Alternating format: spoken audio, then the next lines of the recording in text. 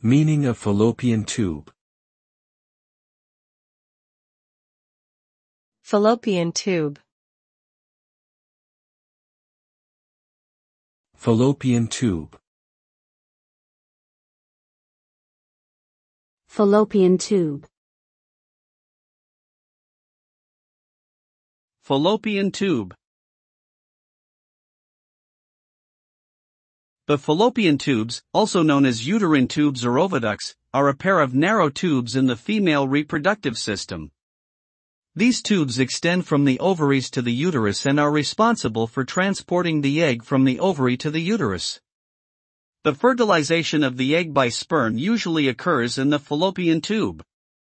If the egg is fertilized, it then travels to the uterus for implantation. Blockage or damage to the fallopian tubes can lead to infertility or ectopic pregnancy.